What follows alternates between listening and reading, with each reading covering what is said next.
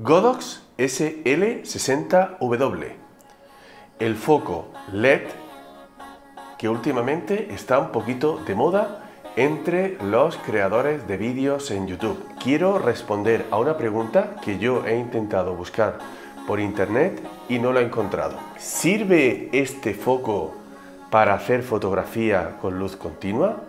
No te lo pierdas, dentro vídeo.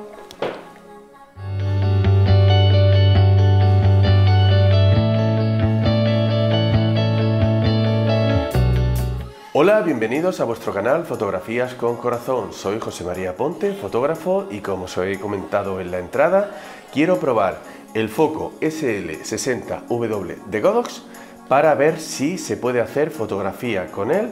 Mm, estamos hablando de un foco de luz continua y quiero saber cuánta potencia real tiene para ver si es factible hacer fotografía de estudio con luz continua con él. Todos sabéis que para vídeo los requerimientos de luz son menos estrictos que para fotografía y el Godox SL60W lo que significa el 60 es la potencia en vatios que consume el LED y el W es que eh, da luz día. Exactamente os pongo aquí en los grados Kelvin que da eh, este foco. No quiero hacer eh, en esta review, no quiero hacer una review técnica, los parámetros técnicos os los pondré en una pantalla, pero son fácilmente extraíbles de la propia página um, web de Godos.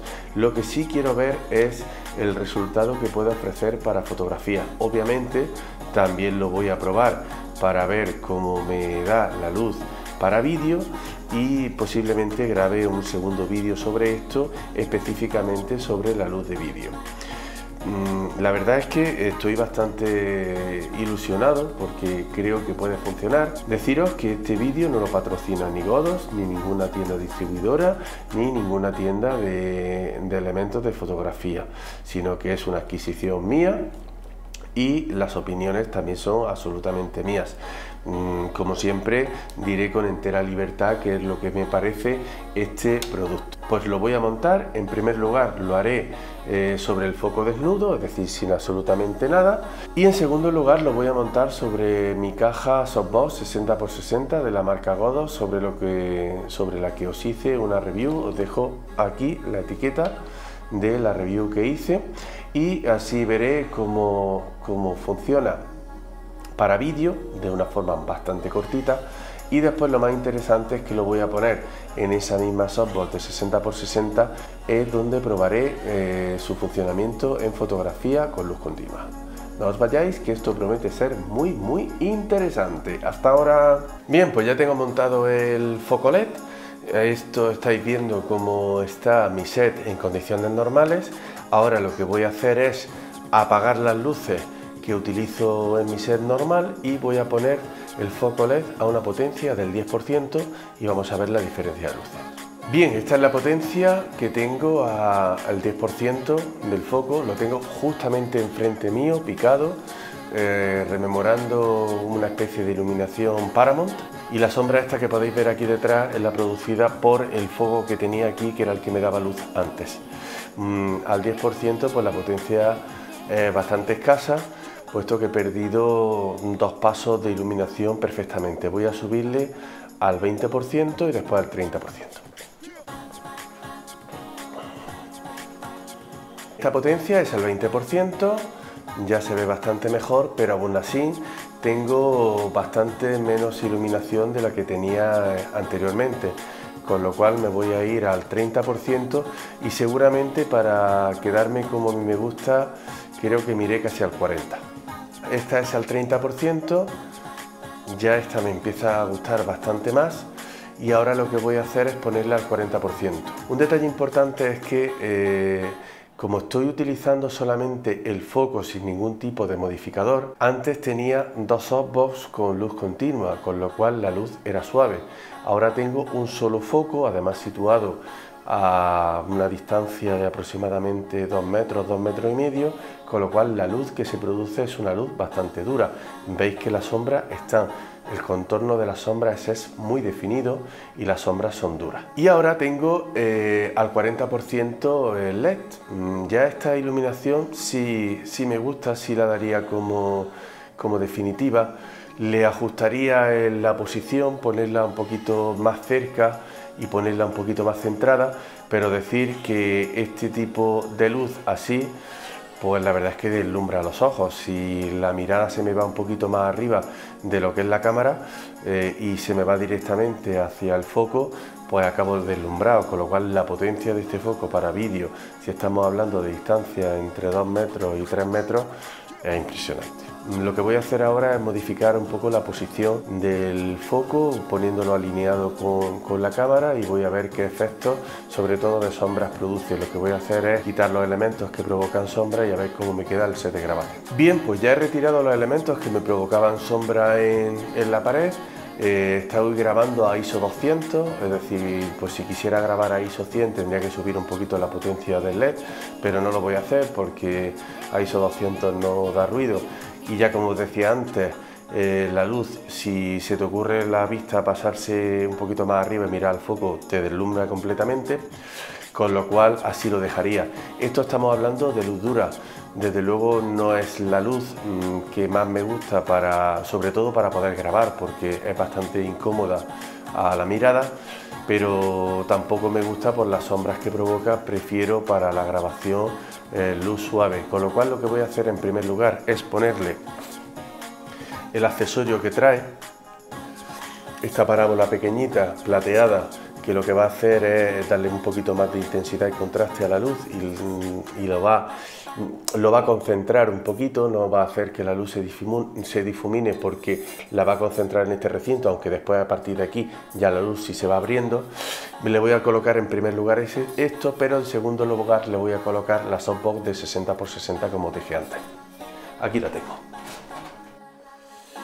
Le voy a colocar la, la softbox 60 x 60 de la marca Godox que tiene su entrada Bowens, que es el mismo que tiene este foco. Pues vamos a probar en primer lugar el accesorio con el que venía este foco. Ya le he colocado el accesorio, eh, ha aumentado un poquitín de potencia y, y la verdad es que debe de dar incluso un poquito hasta más textura en la piel. Sin embargo, vuelvo a repetir lo que dije antes, es bastante incómodo de visualizar porque deslumbra mucho, entonces lo que voy a hacer es desmontarlo, voy a colocar las softbox, a ver si así consigo una luz suave y además que no deslumbre. Este es como queda el set después de haber puesto el SL60W dentro de la softbox 60x60. Ya eh, las ventajas para mí son obvias miro a la cámara y si incluso se me va la vista un poquito arriba ya no me deslumbra, puesto que esta softbox de 60 x 60 recordaréis que tenía doble tela difusora, por lo tanto la, luz se distribuye homogéneamente por toda la superficie de 60 x 60, ya no eh, deslumbra la mirada He perdido un poquito de intensidad de luz, lo puedo ver en el fotómetro de la cámara, pero aún así da bastante buen resultado y lo he mantenido al 40%. Lo que voy a hacer ahora es que lo voy a poner al 50% y voy a ver qué tal va de luz. Pues está la luz al 50% y la verdad es que lo veo bastante bien. Tengo margen hasta el 100% para sobreexponer y ahora lo que voy a hacer es una prueba muy muy rápida de fotografía Mm, voy a cambiar los parámetros de, la cámara, voy a poner parámetros normales de 1 partido 200, f2.8 que es la máxima que es la máxima apertura que me da este objetivo que tengo puesto en la cámara y vamos a ver qué ISO necesito para con esta potencia del 50% que la foto salga bien.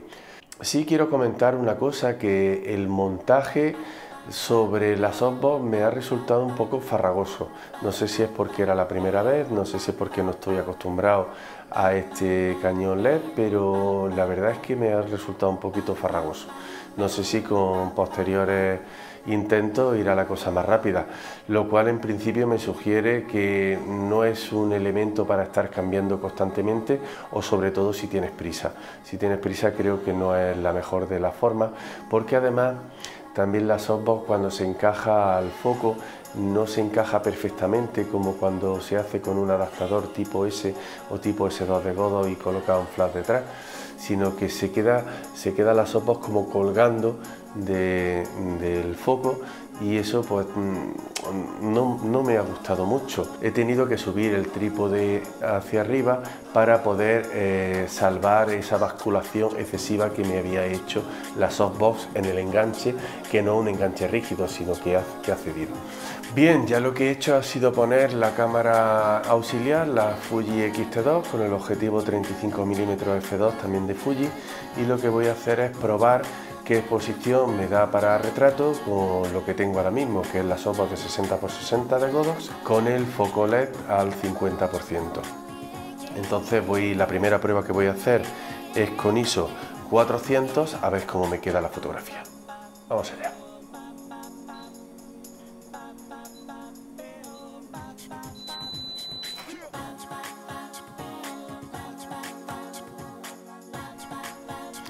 La verdad es que queda subexpuesta bastante.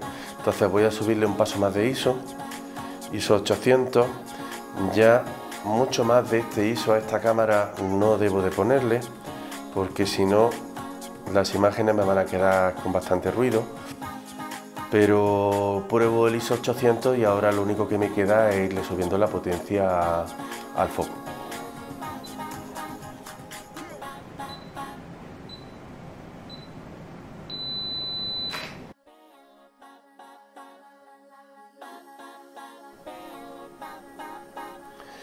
Bien, a ISO 800 da la sensación, tendría que mirarlo en el ordenador, que está también un pelín subexpuesta. Entonces lo que voy a hacer ahora es que le voy a poner el foco, lo voy a poner al 100% y voy a ver qué parámetros de cámara necesito para que la exposición quede razonablemente bien. Le acabo de poner el foco LED al 100%, la verdad es que mm, visualmente se nota, se nota bastante, pero lo importante es ver cómo quedan fotografías. Entonces lo que voy a hacer es que le voy a seguir dejando el ISO 800 a ver cómo va y después lo bajaré a 400.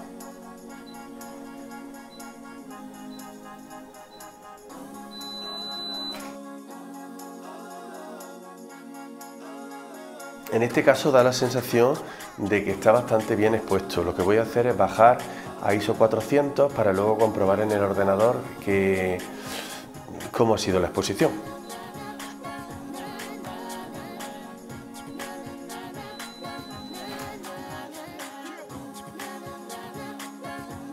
Daría la sensación de que está un pelín subexpuesto.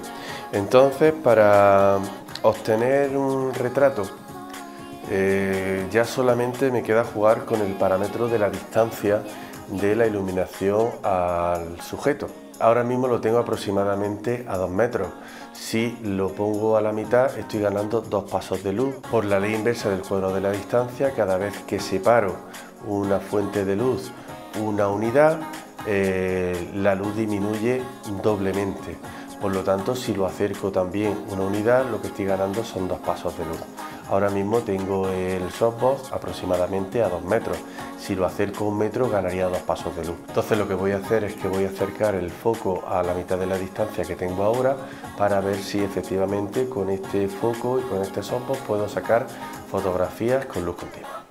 Bien, ahora lo que tengo es colocado al estilo Rembrandt, es decir, a 45 grados y picado también 45 grados, es la luz sobre el sujeto, a una distancia pues aproximadamente de un metro. A lo que veo en el vídeo, la cara la tengo sobreexpuesta, lo podéis ver ahora mismo todo. Voy a sacar la fotografía, a ver qué tal va y en función de eso pues ya puedo afinar un poco el parámetro.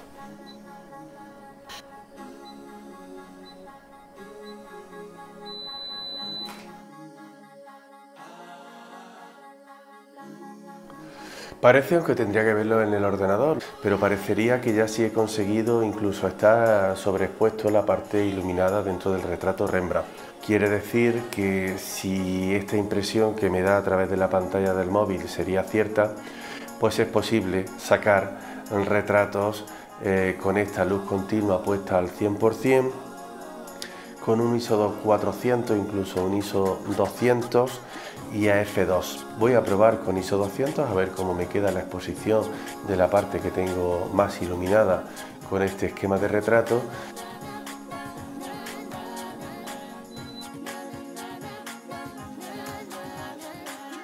Bien, pues esta ha sido la pequeña prueba de campo que, he realizado. Ahora lo vamos a ver en el ordenador y vamos a sacar las conclusiones ya de una forma más, más, científica, puesto que vamos a ver exactamente cuál es el nivel de iluminación que se produce en el rostro y ya podremos tener las conclusiones. No os vayáis. Hasta ahora.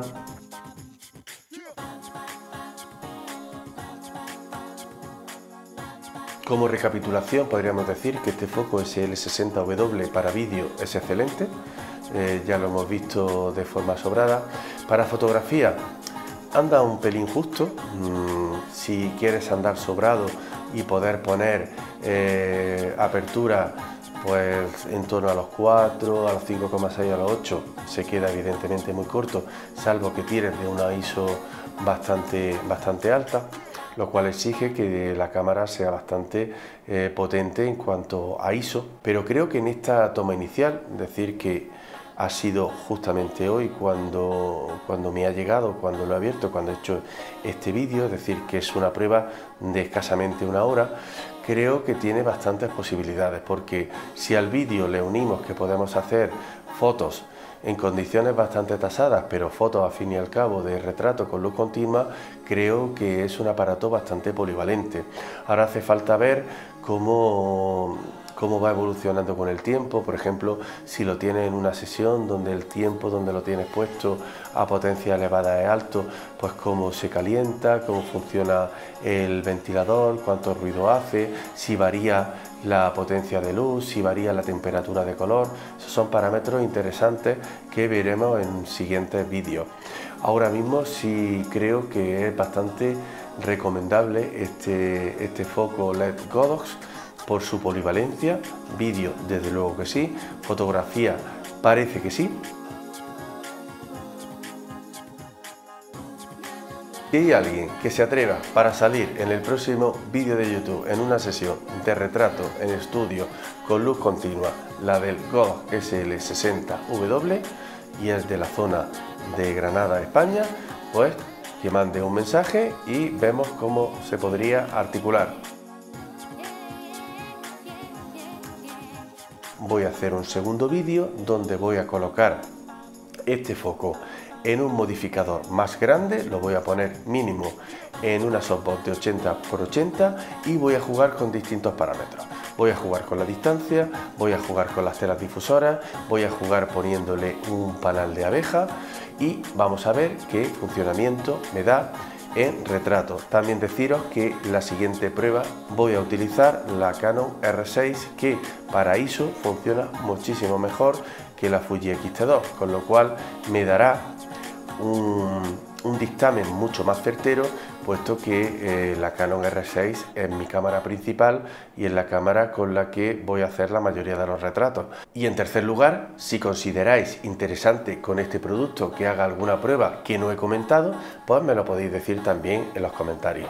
Igualmente, si hay cualquier otro tema que os interese que veamos en un próximo vídeo, pues me lo podéis comentar y iré preparando eh, esos contenidos para que sean del agrado de todos los que seguimos este canal.